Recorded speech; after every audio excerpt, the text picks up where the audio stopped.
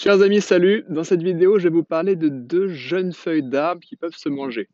On va commencer par l'érable plane et ensuite on va parler du merisier ou cerisier des oiseaux qui est une sorte de cerisier sauvage. Alors, l'érable plane, ici présent, est assez facile à identifier en comparaison à d'autres érables parce qu'il va avoir des feuilles lobées, hein, on dit palmatillobées, Palm, palmati ça vient de palmer, hein, comme une main, parce que les nervures partent un peu comme des mains. Vous voyez, toutes de la base, et elles vont...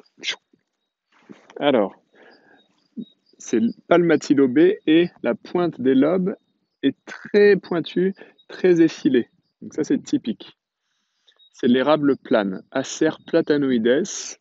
On peut manger à la fois ses feuilles, à ce stade, c'est l'idéal, mais aussi ses fleurs. Petit goût euh, mielleux, petit goût de nectar et de pollen agréable. Voilà, c'est sympa en salade, vous pouvez les manger en soupe aussi.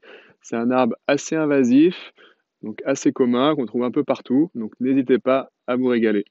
L'érable sycomore, lui, va être beaucoup moins pointu, hein. donc les lobes vont être beaucoup moins pointus, et le goût est vraiment désagréable, donc à éviter.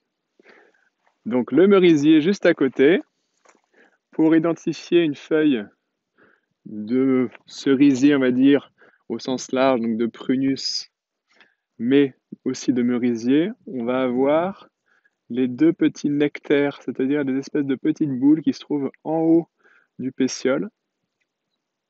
Deux petites boules rouges qui sont des nectaires, donc qui fabriquent du nectar.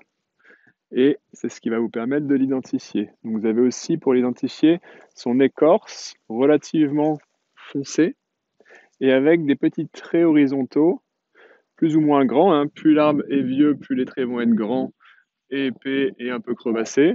Quand c'est jeune, c'est plus petit, et c'est ce qu'on appelle des lenticelles. C'est ce qui permet à l'arbre de respirer, d'avoir des échanges gazeux avec l'extérieur.